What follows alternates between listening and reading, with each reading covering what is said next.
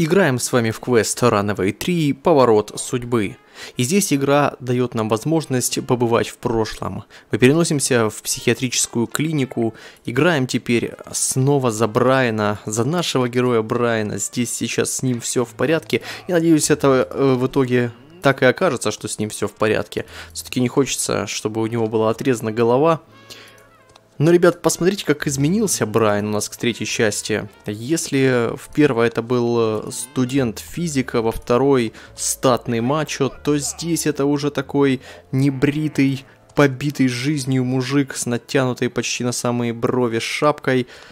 Интересно, что же его так потрепало? В общем, все это будем узнавать, как и будем с вами продвигаться дальше по игровому сюжету. Нам доступно раз, два, три, четыре, пять, шесть направлений, может быть даже больше, если подойти сюда. Да, точно. Но начнем с этого коридора сначала. Так, к Джошуа мы заглядывали, давайте Я заглянем знаю, еще о чем раз. говорю. За этой дверью коморка, в которой ты спишь.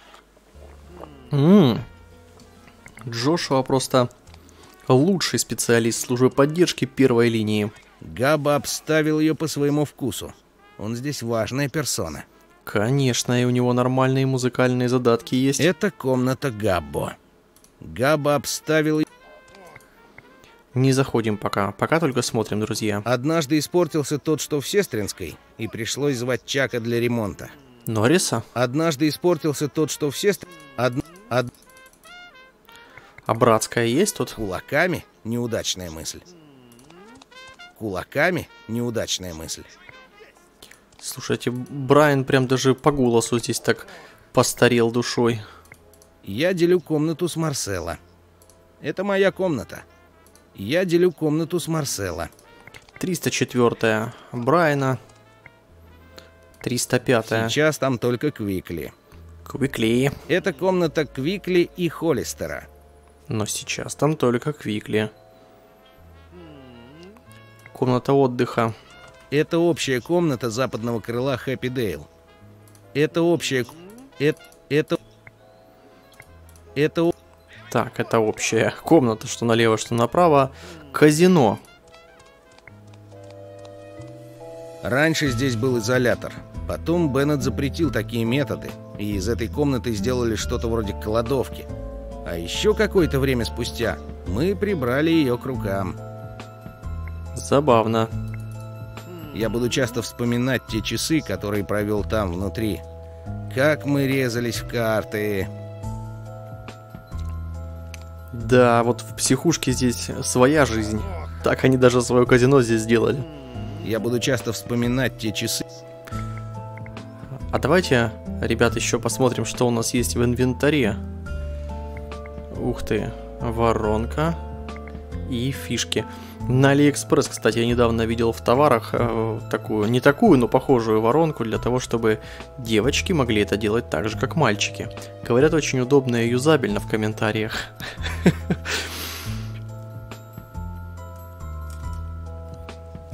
Она спроектирована так, чтобы выдержать долгий период бездействия.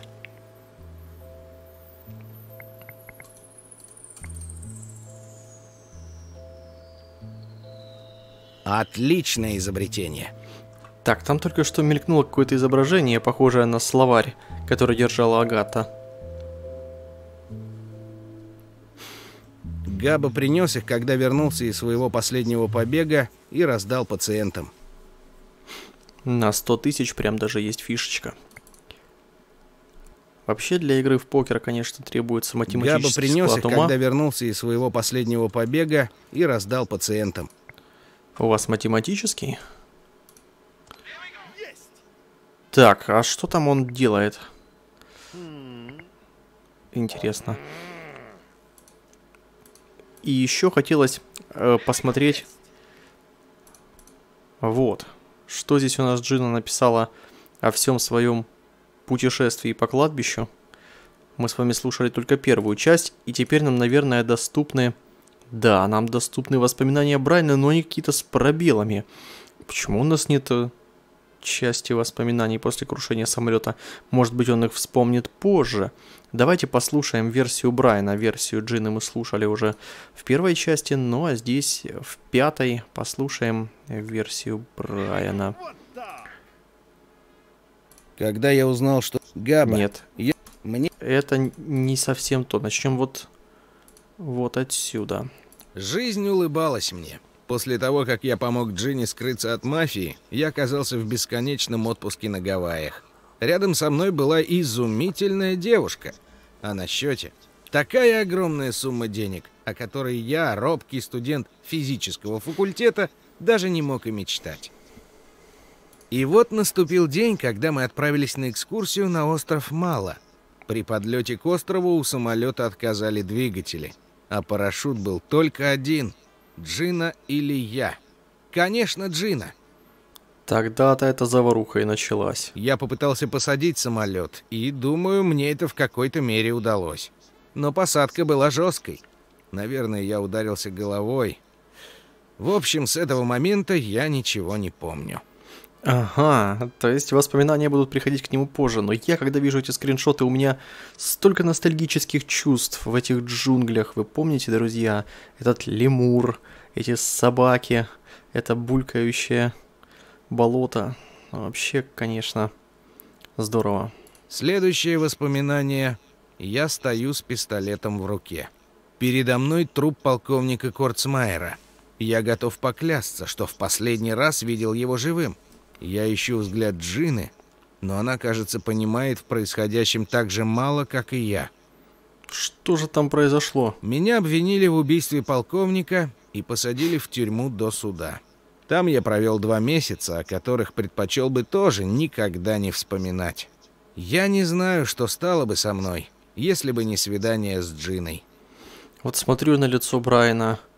Конечно, да, жизнь поелозила его жестко, мордой неструганный стол. В конце концов начался суд. Но судья Уитли почему-то не поверила, что я не помню ничего из того, что случилось на острове Мало, и поручила доктору Беннету выяснить, притворяюсь ли я или нет. Так я из тюрьмы попал в психбольницу. из огня да в полымя. Один из пациентов, Курган, взъелся на меня как будто мне без этого мало досталось. К счастью, я пришелся по душе Габбо. Этот псих верховодил в западном крыле и защитил меня от Кургана. Его поддержка помогла мне вынести вторую часть своего крестного пути. Каждое утро Беннет проводил со мной сеанс гипнотерапии. После сеансов я ничего не помнил. Беннет все записывал на видео, но никогда не показывал мне записи. Но я доверял ему, он говорил, что мы на правильном пути, и я скоро выйду на свободу. Все понятно, все понятно. Так, э, ну, вот э, историю Джины в первой главе мы послушаем чуть позже. Давайте послушаем теперь. Здесь еще есть у нас э, из второй главы реплики Брайана. Когда я узнал, что доктор Беннет не верит в мою невиновность, и его заключение приведет меня обратно в тюрьму, то решил сбежать из психбольницы. Габа, специалист по побегам, разработал для меня план. Я должен был забраться в систему вентиляции через люк в казино и вылезти на крышу, а оттуда спуститься по кабелю, выходящему за ограду психбольницы. Но другой пациент, Курган, опередил меня и закрыл дверь казино изнутри. Мне нужно было любой ценой попасть туда. А, специалист по, погиб... по побегам, который сам не сбежал еще из этой клиники. Это знаете, как всякие специалисты, эксперты по семейной жизни, дающие ценные в кавычках советы, которые сами э, либо всю жизнь вне брака живут, либо 10 раз разведены и имеют детей там от разных женщин, но зато пишут книги, становятся бестселлерами. Вот интересно, Габбат такой же специалист по побегам или все-таки нет? Вскоре мне стало ясно, что я не смогу добраться до люка в моей комнате. Он находился так близко к шкафу, что пролезть в щель было невозможно. Туда мог бы пролезть только резиновый человек. Угу. Понятно, надо будет обратить внимание на этот люк.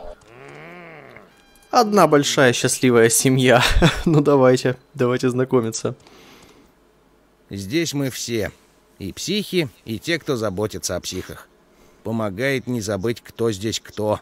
Ведь здесь у всех свои тараканы в голове.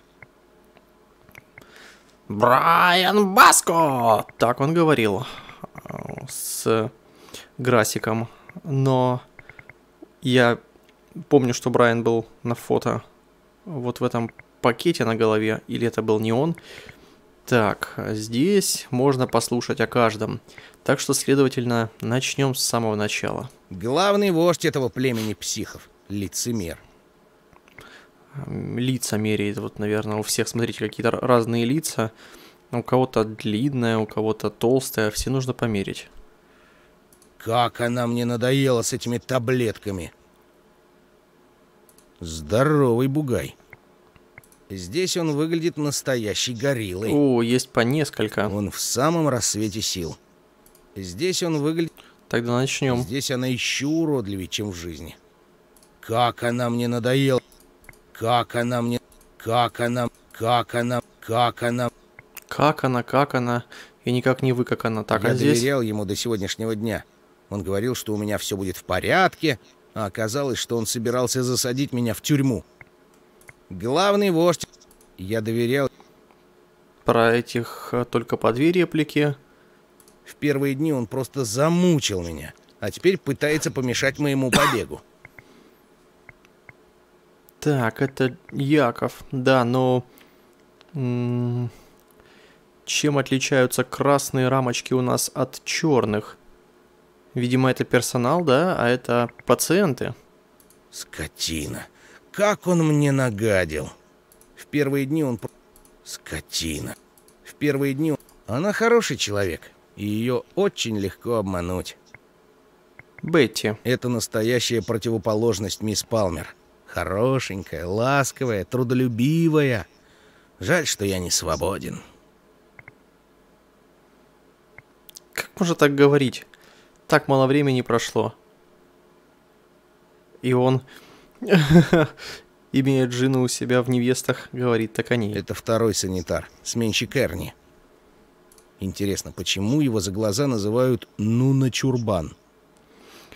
А Джина отказывается брать фамилию Баску. Между ними явно какое-то охлаждение произошло, ребят. Интересно, почему его за глаза называют Нуна Чурбан?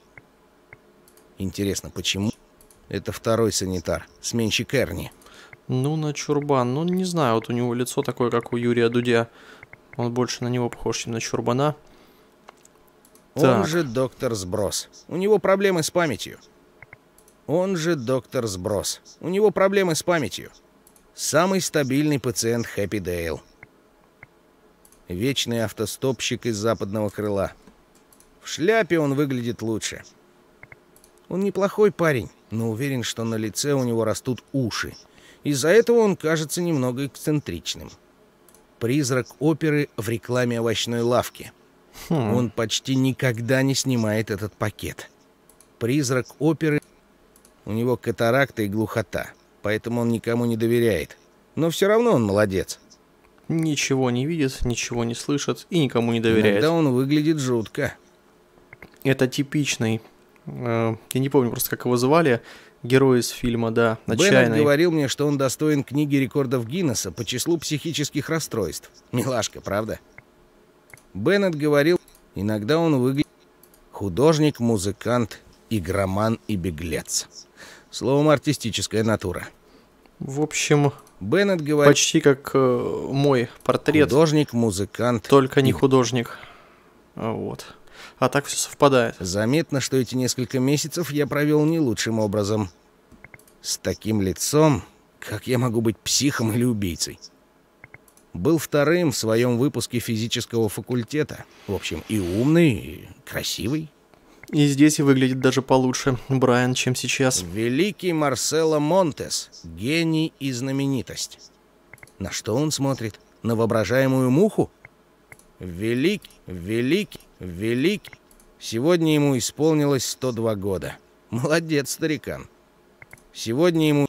Сегодня ему... Сегодня ему... Давай скажи что-нибудь еще. Сегодня ему... Сегодня ему... Вот смотрите, сегодня да, про, про кого-то есть по три реплики, а про кого-то совсем вообще одна. Это неустанный борец за... Ну, в общем, просто борец. Но иногда он соскакивает с катушек, как сегодня. Мы с ним играем в пинг-понг, но сейчас у него обострение, поэтому тренировки отменены. От него никогда не услышишь слово «согласен». Мы с ним играем... Так, ну какую-то краткую характеристику о всех мы получили. В общем, попытаемся ее хоть как-то запомнить, держать в голове. И отходим от этой большой счастливой семьи. Однажды испортился тот, что в Сестринской, и пришлось звать Чака для ремонта. Однажды испортился тот, что... Работает на минимальной мощности, как и остальные. Руками или головой? А может он рассыпется, если его лизнуть? Что за сумасшедший дом? Нет, и так все нормально. Отсюда это невозможно сделать. Они регулируются из технического помещения где-то в другом крыле. Несмотря что Брайан, как мне показалось, стал более циничным после всех этих передряг, чувство юмора он хорошее сохранил. С Эрни пока не говорим, осматриваем остальное. Она преграждает пациентам путь в другие крылья здания. Я прохожу через нее, только когда меня водят на сеансы гипнотерапии к этому лицемеру Беннету. Чтобы пройти, нужно набрать код на панели. На яхте у тебя-то хорошо получилось, Брайан. Голыми руками? Хрен! Не похоже, что она откроется от простого толчка. Голыми руками? Хрен! Хрен голыми руками. С его помощью можно открыть дверь. Жаль, что я не знаю кода. С его помощью... Попробую. Я бы попробовал тот, что был на яхте. Перестань, слышишь? Не угадаешь, Баска. Ох. Вот так. Баска, не майся ерундой. Хм, не угадаешь, Баска. Парень нервничает, а Баска просто стоит и тыкает. Хм.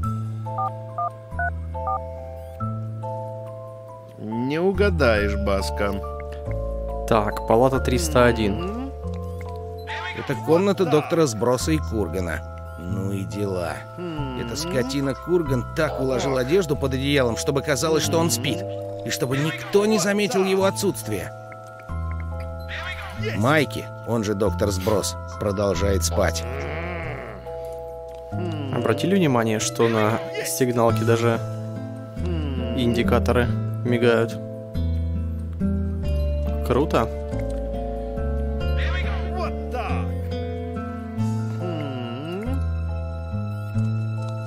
Это комната Джуниора и мистера Найса.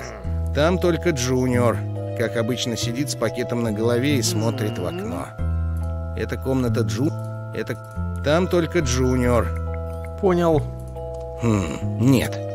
Нет. Красная лампочка над дверью означает, что сейчас дверь нельзя открыть. Нет, не хочу беспокоить Джуниора. Никогда не знаешь, чем это может закончиться. Нет, в тот раз... Что там в тот раз? Красная... Нет. Хм, нет.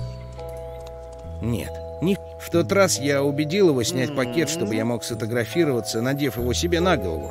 Но за пару минут Джуниор весь извелся. Вот, вот теперь мы узнали, похоже, как Брайан достался этот пакет. Нет. Нет. Нет.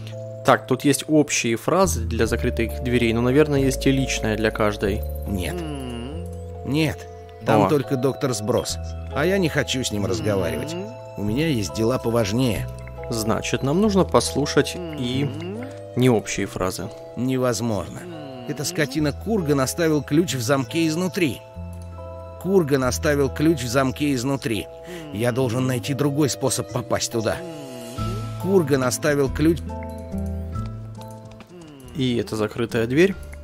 Нельзя. Там Квикли. А сегодня у него один из тех самых дней. Поговорить с Квикли. Эй, Квикли! Квикли, каково твое мнение о... пище? Жалкие объекты буржуазии! В самый разгар приступа синдикализма? Я подожду, пока он пройдет. Объявим забастовку, товарищи! Забастовка неподвижных челюстей! Забастовка пустых желудков! Забастовка против углеводов! Я истощен до предела! Я в ярости! Это как в игре Санитариум или на русском Шизариум, там в начале в дурке один парень так активно головой бился об стену. Кто играл, тот поймет. Эй, Квикли, Что ты можешь сказать о медсестре, которая была перед мисс Палмер? медсестре, которая была перед мисс Палмер. Толстуха! Корова! И у нее были железобетонные. Капиталисты наняли ее, чтобы подорвать наш боевой дух. И она симпатизировала борьбе рабочих. Мисс Кэррингтон Стэнски! Она сумела свести меня с ума! Я в бешенстве! Перед ней, Крикли. похоже, его Надеюсь, сегодня он ничего не выкинет. качественно свел с ума Владимир Ульянов. Квикли, каково твое мнение о методах доктора Тайсона? абсолютно устаревшие, почти бесчеловечные, совершенно бесполезные. Этот парень был сумасшедшим. Одни наказания, смирительные рубашки и лоботомия. Во что он превратил наш любимый, сумасшедший дом? Я просто теряю голову. Ярости. Да, у Ульянова был ярко выраженный дефект речи картавости, у Квикли этого нету. Эй, Квикли, что ты можешь сказать о... И тем не менее, его харизматичность весьма и весьма на уровне Эрни, дежурном санитаре, о социальном неравенстве, коррупции в правительствах и обо всех ужасах этой планеты, на которой мы живем. Давайте послушаем.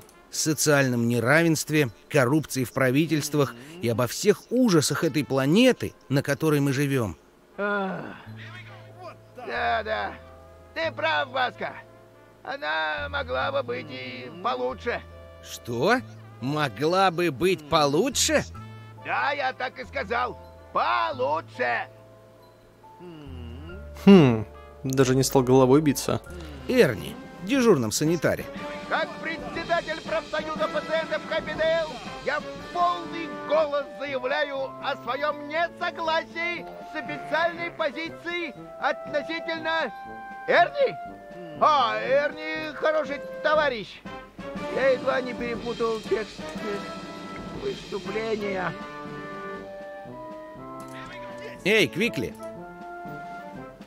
Так, тут еще много интересного, друзья. Квантовая теория, применимая ко всему на свете. э, квантовой теории применимы ко всему на свете. Как председатель профсоюза пациентов Капидейл, заявляю о своем полнейшем невежестве в данном вопросе. Тем не менее, я выражаю искреннюю солидарность всем ее хулителям. Квантовую теорию к стенке! Иначе я совсем одуреваю! Я возмущен! Да, ты вот, Брайан, мог бы быть расстрелян, если бы, у- если бы у Квикли была власть на это. Интеллигенцию ребята вычеркивали просто пачками. Квикли, каково твое мнение о... Ой, как тут много всего. Ну а зачем их оставлять? Покладистых рабов чисто оставить, за станки поставить.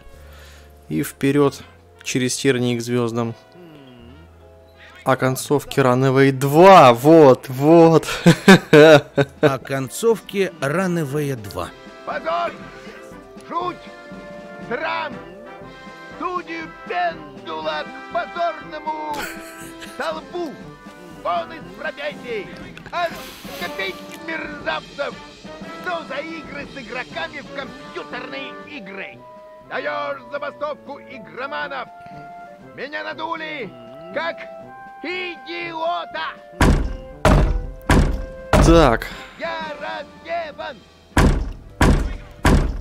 я понял, друзья. Я завершаю эту часть и начну организацию забастовки игроманов, потому что это уже невозможно терпеть. э, Систематическое отсутствие доната.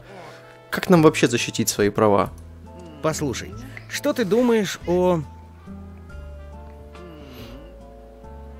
О той части Runaway 3, которую ты посмотреть?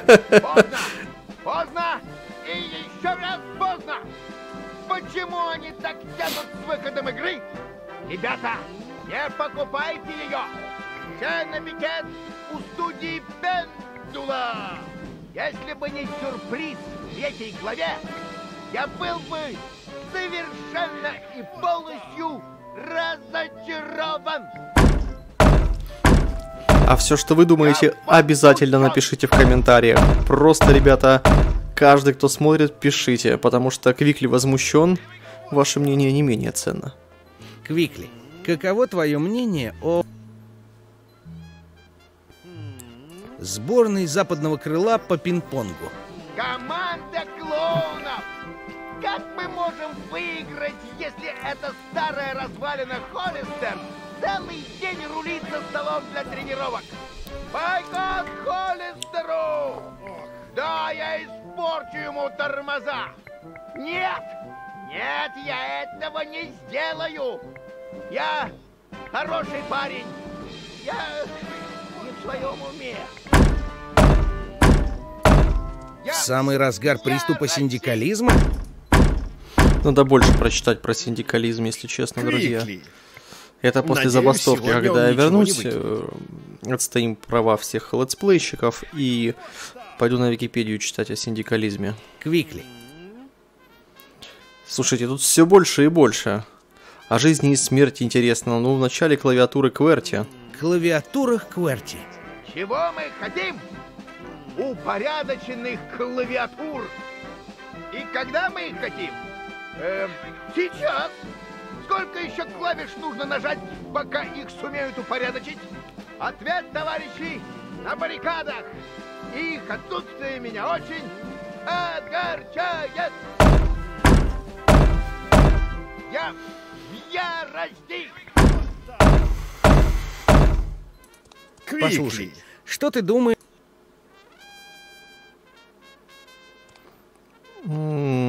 Так, это мы все спрашивали. Да ну.